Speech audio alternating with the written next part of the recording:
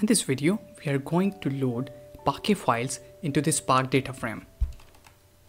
For that, I am having some Parquet files. If you do not have any Parquet files, you can refer my previous video.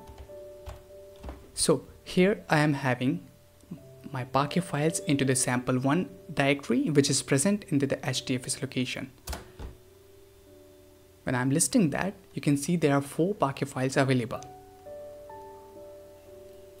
I'm going to load these files into the Spark data frame.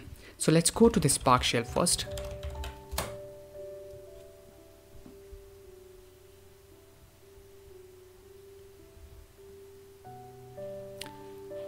Okay, so we want to load this data into one data frame. Let's say we are having data frame df and I'm writing spark.read Hmm, there is option Parquet here. And then I'm writing the complete location.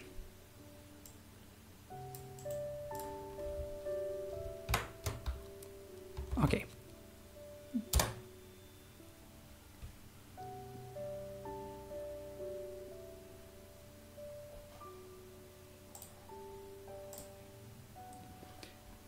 So here you can see that the schema is also inferred into that.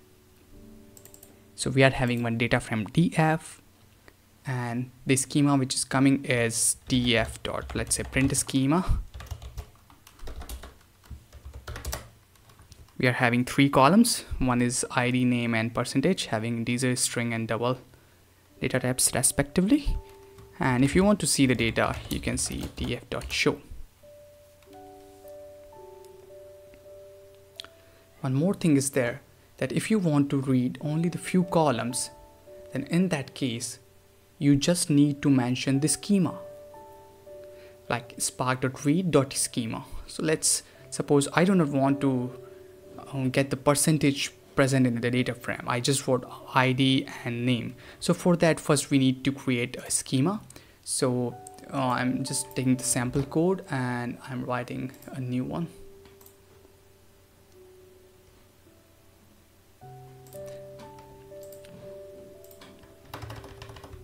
Just focus here. I'm just trying trying to get the schema type. Okay so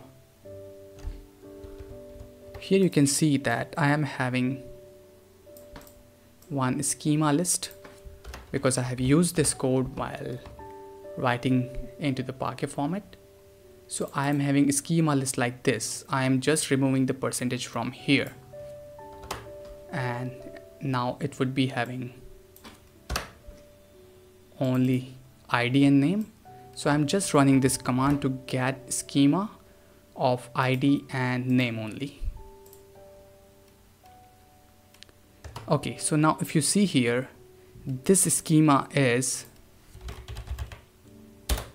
having only two columns that is ID and name. Now while writing, I'm sorry, while, while reading into the data frame, I'll write one more option here that is schema. And then actual schema you need to pass. Because we have named the schema same as a schema name so I'm just writing this now if you see that df is having only two columns, ID and name. If you want to see the data, you can see like df.show.